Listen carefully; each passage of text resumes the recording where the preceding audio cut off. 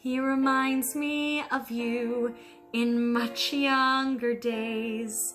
Softly eccentric and set in his ways. He reminds me of you.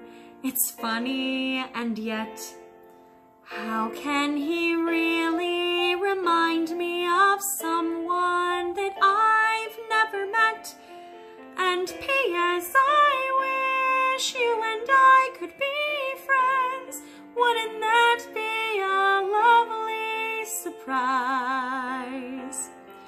Cause P.S. how sweet to be writing to you if I knew the color of your eyes. We went for tea at an outdoor cafe. Oh, and his eyes are both blue, by the way. We talked and we talked. You should have been there.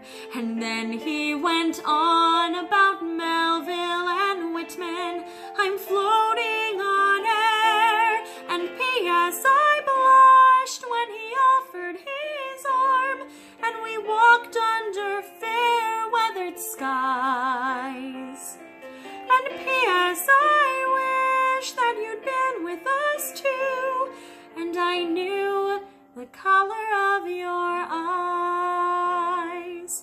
He made it seem like I've known him from long ago, laughed at my jokes, though they scarcely seemed apropos. I'm feeling more like a girl and less like a child.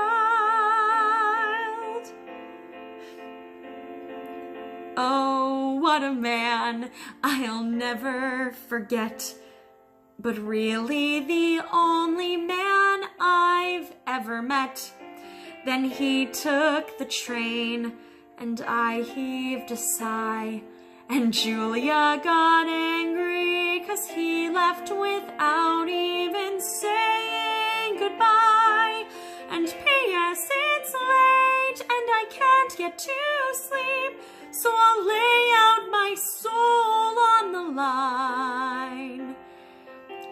what do I care if there's blue in his eyes? If someday you're looking into mine, one day you'll be looking into